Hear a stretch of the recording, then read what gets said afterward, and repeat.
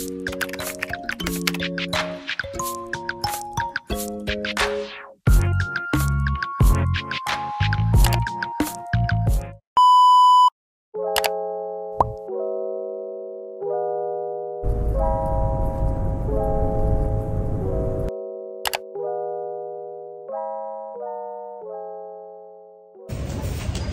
morning everyone, it's day 2 and uh, currently 7 a.m. in the morning and nandito ako ngayon sa may Bangkal Port dito sa may Carles, Iloilo.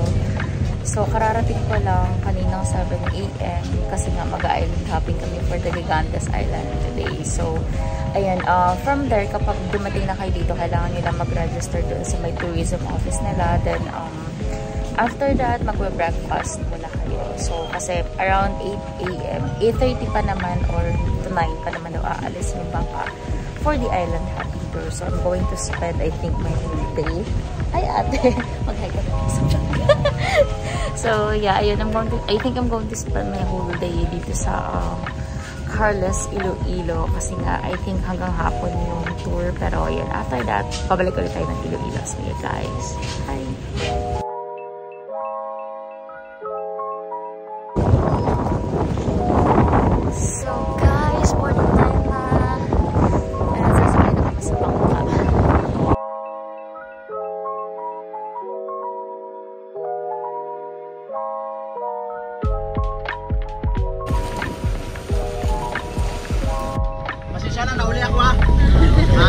Budget ma'am, yung maging tour nyo ma'am sa Gigantes ma'am.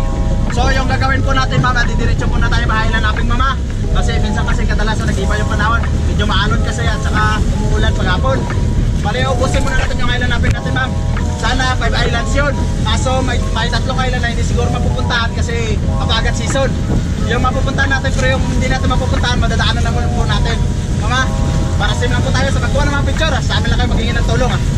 Kung may tanong kayo sa bawat island, sa amin lang kayo magiging ng tulong. Ha? Maraming pala sa mga picturean.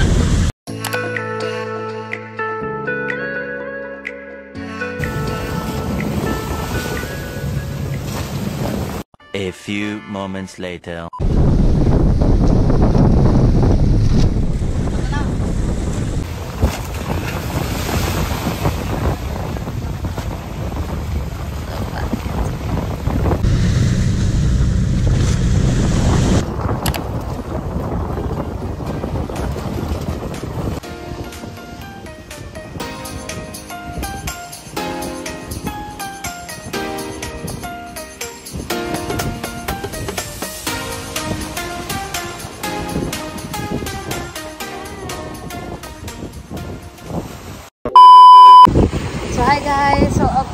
Uh, first island stop namin. Nandito kami sa May Kapugaw, Kamay Island. So, ayan siya. Grabe yung pinanas namin papunta dito. Super, ang lalaki ng mga alon. Oh my God, nakaka-stress. Pero, ayan. Mararating mo naman dito. Maganda na. Uh, pupunta muna kami doon para mag-picture taking. I think this is the famous selfie island. I'm not sure, pero parang ito ata ngayon. So, instead of five islands, I think tatlo na lang ata yung pupuntahan namin kasi habagat season ngayon. So, maalon tao. Kaya grabe yung alon kanina. Ang laki. Pero kudos sa mga boatmans namin and yung boat talaga namin ang tibay. So, yeah guys, punta muna tayo doon para mag-picture and mag-video. Update ko kayo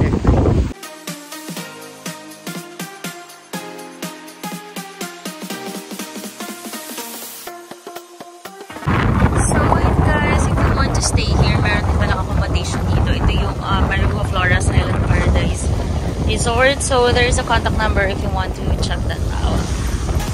And ngayon, aakyat na ako papunta sa taas. So, yeah.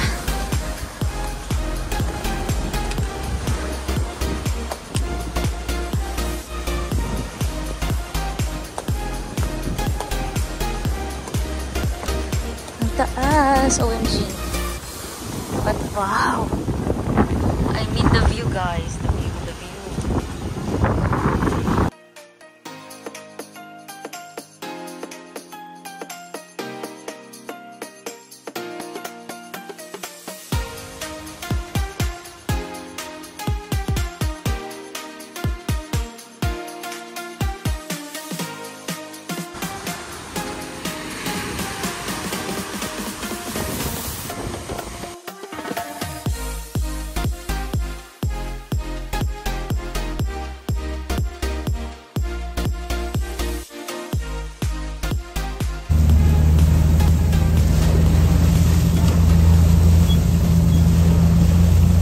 A few moments later.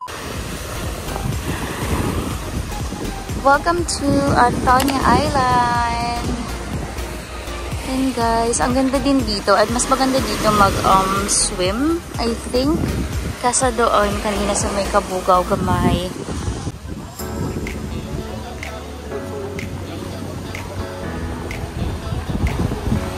Wow! May maganda mag-picture doon. Place. Change outfit, guys. Yeah.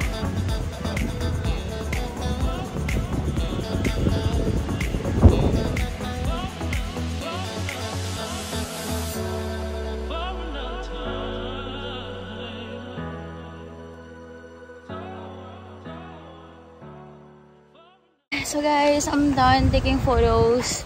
Magsuswimming na ako kasi after this island, um, pupunta kami sa next destination namin which is for uh, lunch na. So yun na lang yung pupuntahan namin kasi sayang hindi ko alam kung pupuntahan pa namin yung Tangke Lagoon pero OMG mukhang hindi na ata. Ang sayang talaga. So hi guys, so ito yung mga aking mga photographer. So thank you so much kay Kuya Ni and kay Ma'am. So ayun, thank you for the photos. Luisa po.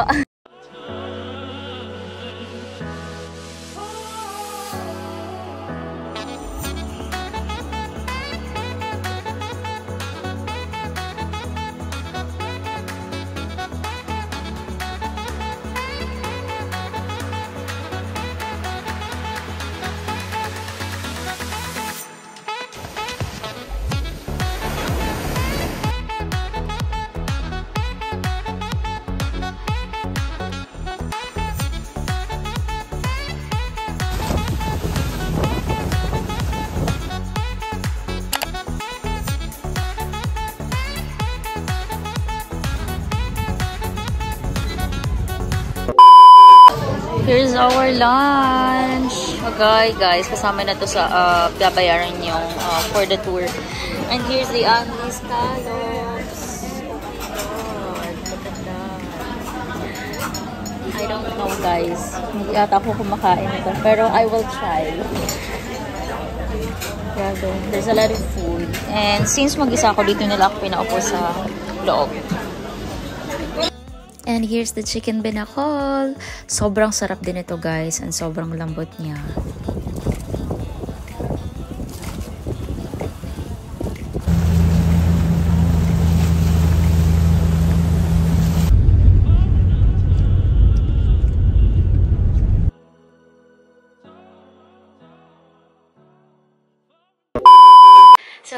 Guys! Update. I'm back here at Delis uh, Bed and Breakfast dito sa may uh, Haro, Iloilo. So, um, nakarating at ako dito around 8pm. 8pm. So, from uh, from Carlos, Iloilo. So, ayun nga. I think yung biyahe is for uh, 3? 3 to 4, uh, 3 hours. Mga ganun siya. So, uh, yun, after ng island hopping tour namin kanina, grabe umulan siya. As in, pagkarating pa lang namin sa port, umulan ng umulan ng sobrang lakas. But yeah, thankful, uh, nakasurvive talaga kami kanina kasi sobrang laki talaga ng alon nung papunta kami doon sa uh, first island namin which is yung, um, I think it was the Kabugay Kamay Island. Iyan din yung pinakasikat na uh, doon sa Gigantes Island na uh, island. So, I think yan yung Selfie Island if I'm not uh, mistaken. So, yun. So, yun na nga, uh, dalawang islands lang yung napuntahan namin kanina um, aside dun sa kung saan kami nag-lunch. Kasi, um, habagat season daw kasi ngayon. So, hindi talaga kakayanin na pumunta doon sa ibang uh, islands pa nakasama. Dapat uh, at least 5 yan. Total of 5 islands dapat yung kasama sa tour. So, yun. Okay na din. Kasi, di ba, uh, mahalaga doon yan sa kabalik kami ng uh, safe. And, syempre, nag-ward din ako kanina kasi, guys, yung sobrang laki ng alon. Tapos, ang dami namin nakasakay sa boat. Tapos, every time na huma, hinahampas yung ano, ng dagat yung boat namin. Para naririnig ko na nag-creak yung, ano talaga, yung mga cutting, yung nung bangka. So, yun, nakakatakot siya. Pero, yun, okay naman. So, may mga nagsuka doon kanina. Pero, yun. Anyway, shout out pala kay Kuya Neil, if I'm not mistaken yung name. Kuya Neil and Ate Christy, kasi sila talaga yung uh, nag-offer uh, na mag-take ng photos ko kanina. Ayun, sobrang thankful talaga ako. So, thank you so much. So, may mga nakilala naman ako doon sa uh, tour kanina. That's the benefit, I guess. Or yun yung uh, magandang side kapag sumasali kayo sa mga joiner tours. Kasi um, may mga makikilala ka talaga kayo na iba't ibang tao. So, yun, masaya siya. Uh, other than dun sa experience namin na um, alon talaga kanina na sobrang uh, laki. So, yun guys, if you're going to visit uh, the Gigantes Island, might as well go here during summertime. Yun yung uh, pinaka-recommended uh, ng month uh, or season ng ano ng uh, tour guides doon. Mas maganda doon talaga kapag summer time kasi ngayon habagat season so ex expect na maalon siya talaga. So yun, um, hindi pa ako nagde-dinner and bala ko lumabas ngayon. I'm planning to go to Smallville. So uh, doon na rin ako magde-dinner and will check out yung uh, nightlife doon. And probably grab a drink. Then, uh, siguro uwi na lang ako ng mga around 12 uh, midnight. Kasi tomorrow, I have a city tour plus a uh, Garin farm. Pero hindi naman siya super aga. So, uh, at least, uh, okay lang naman medyo magpuyat ako uh, today. So, yun guys, I'll update you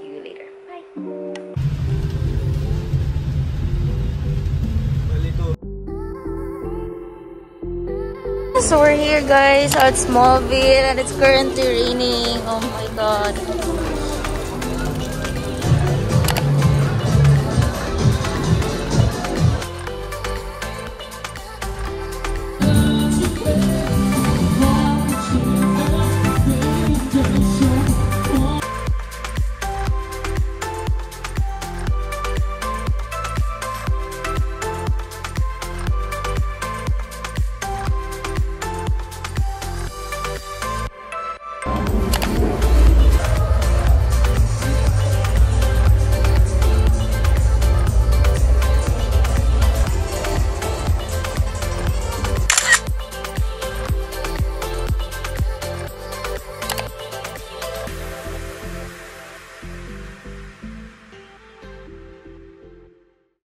It's my life.